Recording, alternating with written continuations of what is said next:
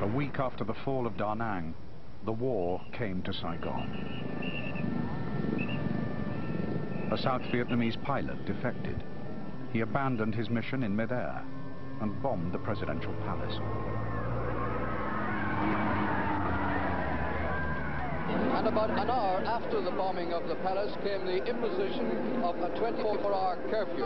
It was announced on Vietnamese radio and on loudspeakers very noisily in the streets in the center of Saigon itself. When the announcement came, people poured out of the shops, the offices, the businesses in the center, and they're now jamming the streets on their way home. It's absolute bedlam. Washington wanted to know the mood of the city, but official embassy reports only gave the good news.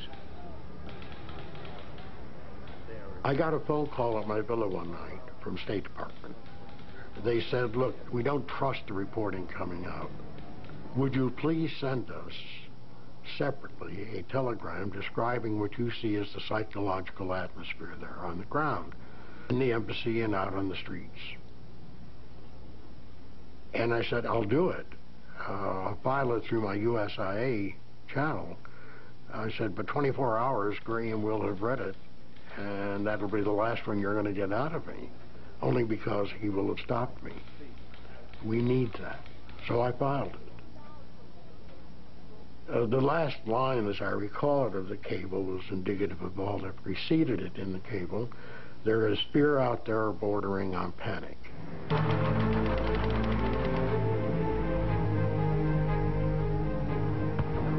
Out in the country, the North Vietnamese advance continued to within 30 miles of Saigon. Thousands of refugees came flooding into the city. They brought with them tales of atrocities committed by bloodthirsty communists. The rumors at that time was, okay, they, they are coming in, in and they rape, and I heard that there's, there's will rape happen, that they would pull out the fingernails of women that who have their nail paint, uh, painted, and, uh, and that they uh, would executed people that who work for the Americans.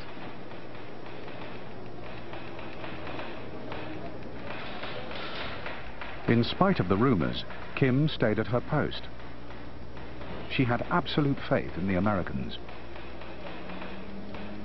I am surrounded by my American friend who keeps saying to me that we would never leave you and the U.S. government would never leave you. We will stay here with you until the end. They believe that Saigon would not fall, and if it fall, would be a long time. But no one ever discussed like the possibility that the, the American would drop us. I think they're afraid to bring it up to us too because there was fear that they would cause chaos in their company. People would flee them. Uh, all of these, um, of course, they may be, I didn't know then, but maybe they was under the pressure not to say anything that would cause panic because they was constantly assuring us, you will leave with us if it happened. But the fall of Saigon won't happen so quickly. The Americans were more the events at Da Nang. If the same panic engulfed Saigon, it would be many times worse. Publicly, the embassy encouraged the view that no Vietnamese need leave Saigon. One of the uh, principal things that we had to do was to avoid doing anything that might create a panic and therefore make it impossible for us to go ahead with evacuating either Americans or, for that matter, Vietnamese. So the governing principle was, yes, do things in time, but do not do them too quickly, not too soon.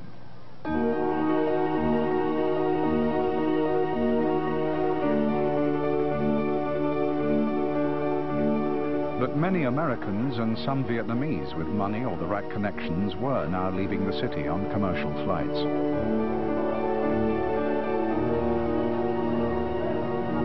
Sensing the Americans might abandon them, fear began to take hold of the streets of Saigon.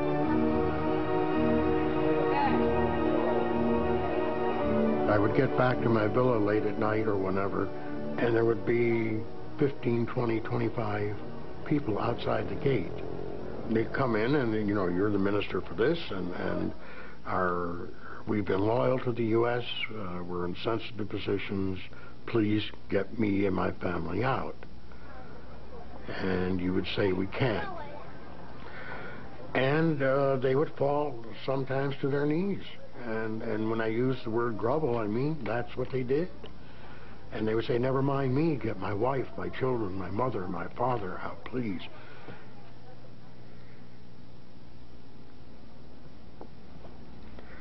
I think it's the worst thing emotionally that I've ever encountered.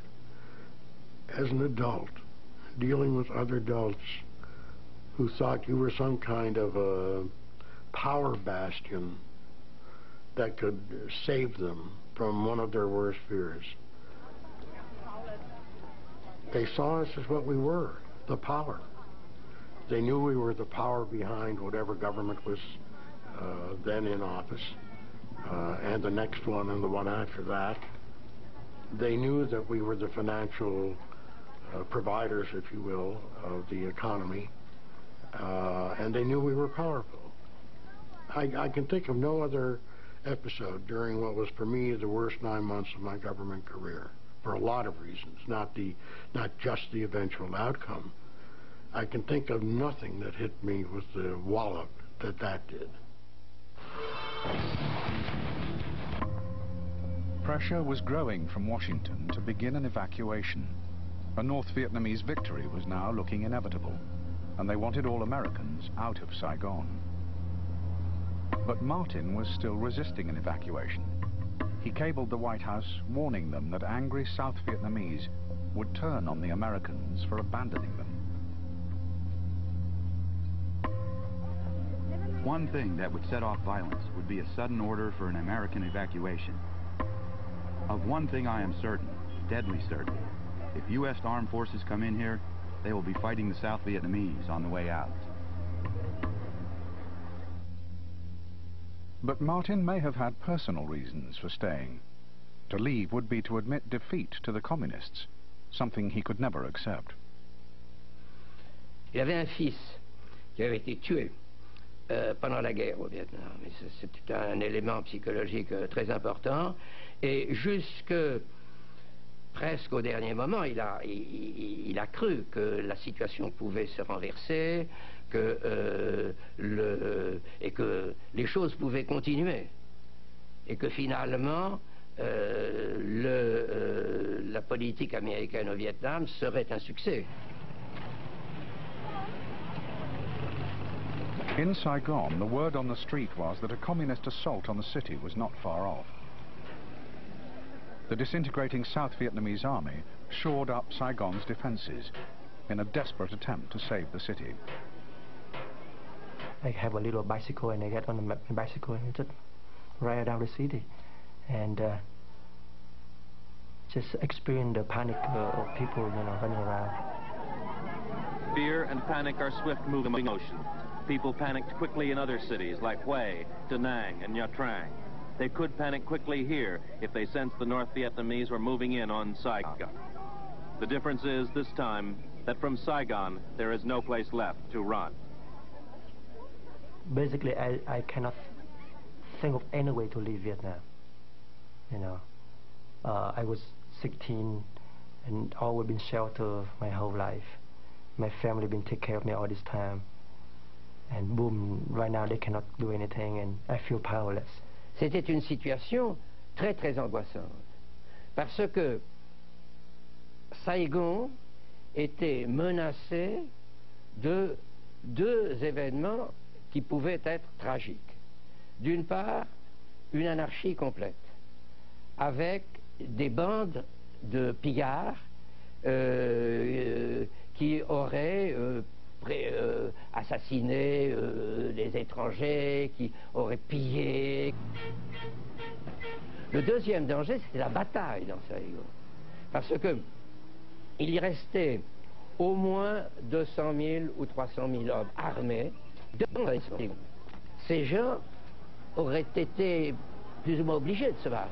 Et les euh, forces nordistes euh, aurait été obligé de les, de les bombarder. Et Saigon est une ville fragile. Et en plus ça, physiquement, c'est une ville qui grouillait d'enfants. Ça, m'avait frappé. Vous voyez des, enfants partout, n'est-ce Parce que c'est le climat, les, enfants qui, qui, jouaient dans la rue. Alors, l'idée qu'il y aurait dans cette ville surpeuplée, qu'il y aurait des combats, était une idée à faire frémir.